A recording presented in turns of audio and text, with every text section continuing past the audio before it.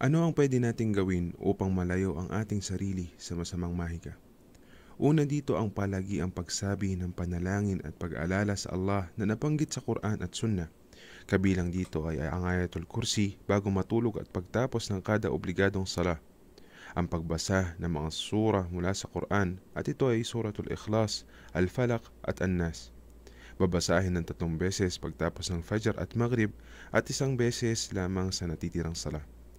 Kabilang rin dito ang huling dalawang talata mula sa Suratul Baqarah sa unang parte ng gabi. Ang palagi ang pagpapakopkop sa pagsabi ng A'udhu bi kalimatillahi tammat min sharri ma khalaq at ang pagsabi ng Bismillah alladhi la yadurru ma ismihi shay'un fil ardi wala fis sama wa huwa as-sami'ul alim.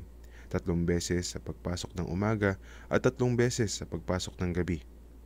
Itong mga dasal na ito ay isa sa pinakamalaking dahilan upang malayo sa mga mahika sa mga tao na ito ay ginampanan ng may sinseridad at kumpletong tiwala sa Allah subhanahu wa ta'ala.